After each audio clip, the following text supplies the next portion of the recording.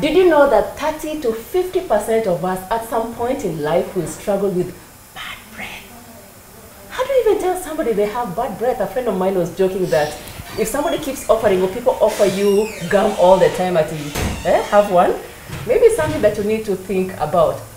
Over to the topic of our day, fix my bad breath. We are joined by the awesome, Harvard educated, Boston trained, Dr. Joyce Gitango of Dental Smiles. Welcome to this conversation. Yeah, let me check my breath first. Is that even an effective way of checking bad breath, by No. the way? Because, you know, first of all, you can't even trust yourself. Right. I'll tell myself, ah, nile garlic nilikula Yes, eh? exactly. So that would be one. Is that a way of checking bad breath? Or it's better to tell somebody who is brave enough or your self-esteem is at 99.945% yes. level. I think most people who have bad breath know they have bad breath. You can definitely smell your bad breath, Hmm. especially if it's severe, you know. If it's mild, maybe you can be able to get away with it, but you know, you can smell your own bad breath. Interesting. That's why most people come. They come because they're like, I know I have bad breath. And I like the fact that you're saying that there are people who are coming in. Yes, that, they Dr. know. Gitango fix my bad breath. They know they have bad breath. Yeah, they, they do, you know. Let's Um, go back to the beginning because we've gone right into the middle of the conversation. Right, we've dived What in. are the causes of um, bad breath?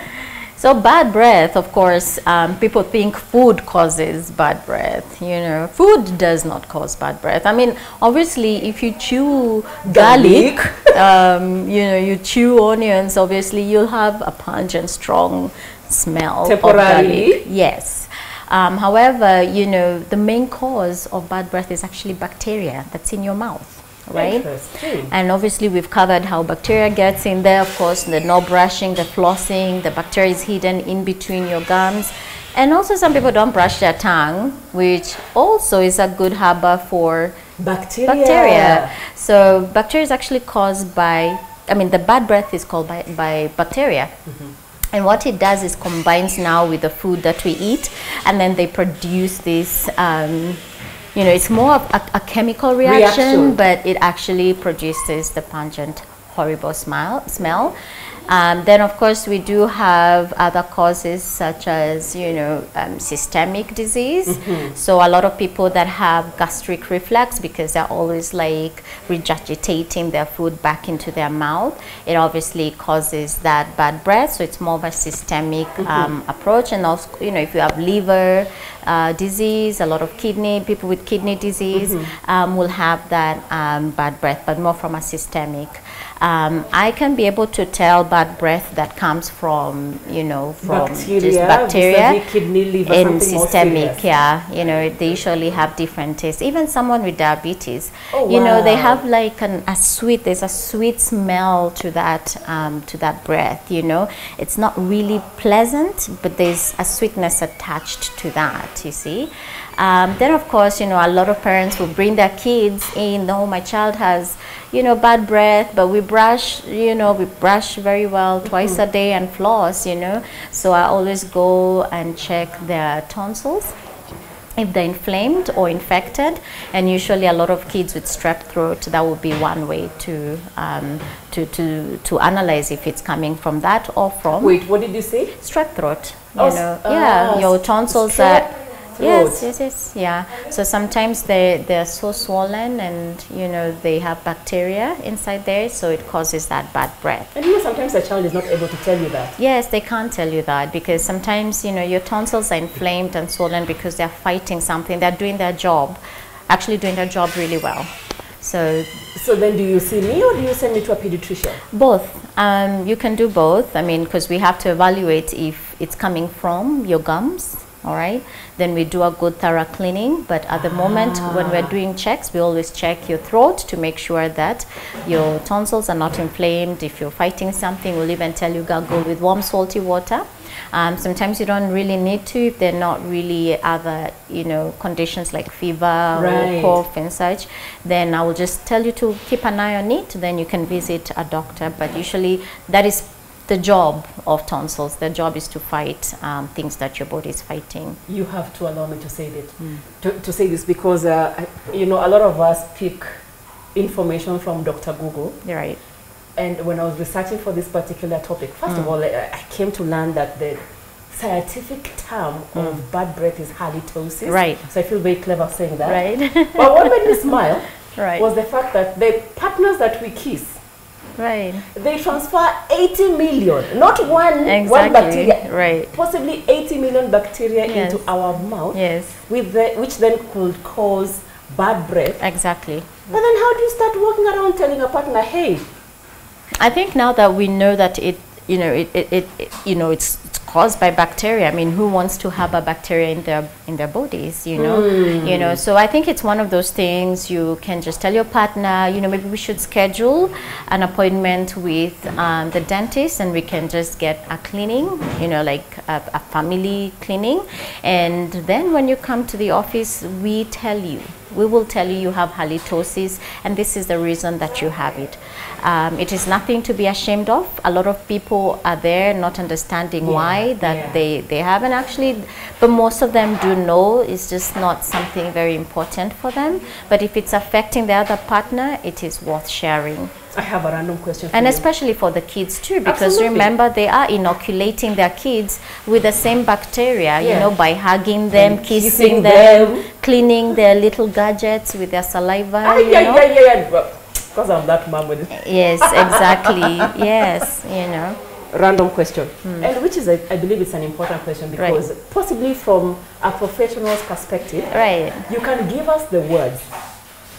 We were joking with uh, my partner before, George. Mm-hmm. Partner meaning the guy I work with on this particular set. Right, yes. I know George's wife could be watching. Yes. yeah. When guys are handing you pellets of uh, gum all the time, Right. But question is, how do you break it down? How can we? What are the words you can use for if, if you want to tell me, "Hey, Christine, your breath stinks," right. or should it be, "Hey, Christine, Yeah. you need to"? What can we? How can we put it into words? Um, I think just being straight with a person Ouch. because I mean you just don't tell them in a way that oh my god your Oh, breath the stinks but you know just do it in a more compassionate um, and in a way that we can heal this together because um, if, if you are going to break it down as if um, you know I've noticed that you know you you know there's a certain breath uh, that's coming and you know I read somewhere that it's caused by bacteria, you know, and it might not be. You, it could might be not. yes, it could be bacteria. It could be other issues Yeah. that are hidden.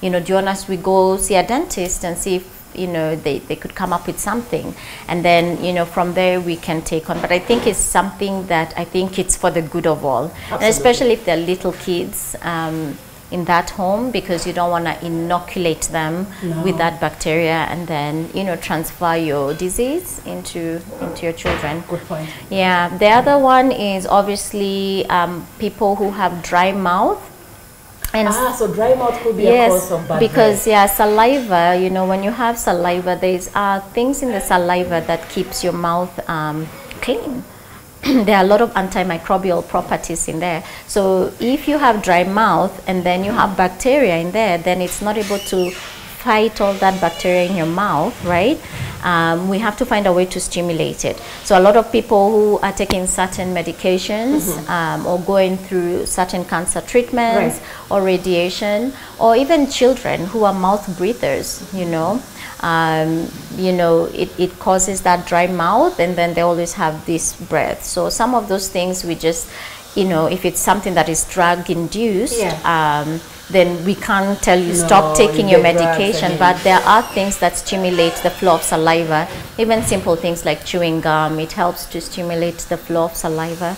If it's children who have uh, who are mouth breathers, Mm-hmm. we do have appliances that we do recommend um, for you know for the kids um, to help them um, stop the habit, Right. um, or refer them to a ear, nose, and throat uh, doctor a specialist so that we can find out if there are other underlying issues causing the mouth breathing. So like we said, your mouth is the gateway to To my health. to your health. So even with small things like your breath, mm-hmm. we can catch diabetes, Yeah. we can catch liver, kidney, of course, just general, you know, dental disease. We can catch certain habits like the mouth breathers. You know, we can help people who are going through certain treatments um, have you know better flow of saliva. Yeah. So it is quite an important thing to know that everything you will end up having to come to see the dentist because everything that you have and own in your body comes through your mouth and it's very important for you to understand there's a connection to everything. Awesome. Right.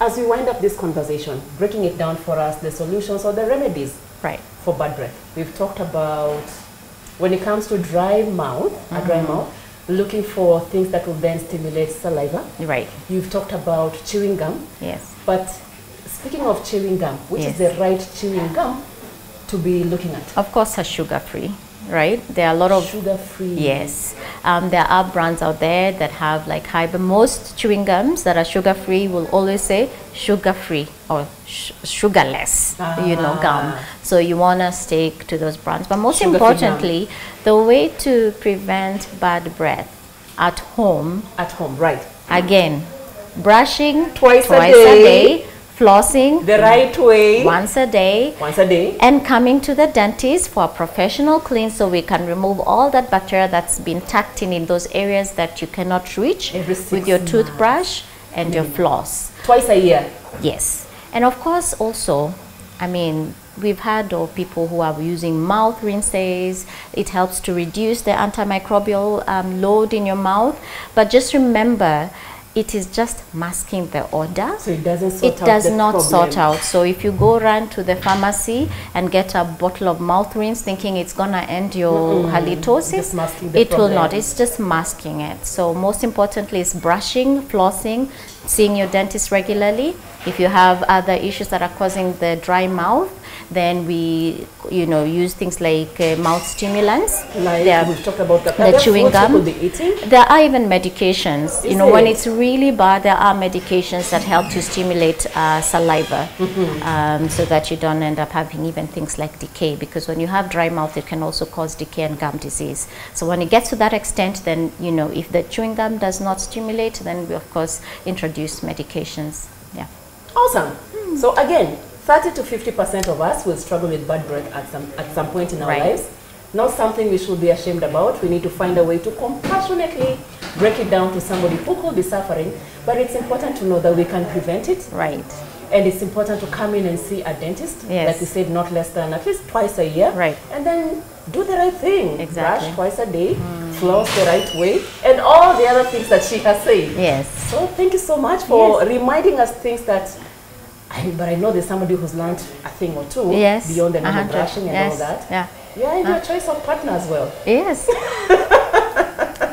Yes, Very you have to break it down to them because Yeah. you could be working on your on your breath, but then every time you your health is then- important your Yeah. health is important so if their health is not in check then it affects your your overall health too Absolutely, the mouth is the gateway to our health. yes And on that note, we need to come to an end. Yes. I will let you say one final punch. yes be proud of your mouth I love that. right I love that. Be proud of your mouth. Yes. Be proud of your mouth. yes Yeah? See you in the next episode and thank you for joining in. right